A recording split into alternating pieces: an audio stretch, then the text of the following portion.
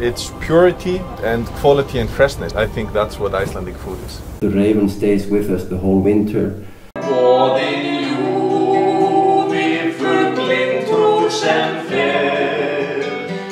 Askveitegstanda heitir ykkur drasi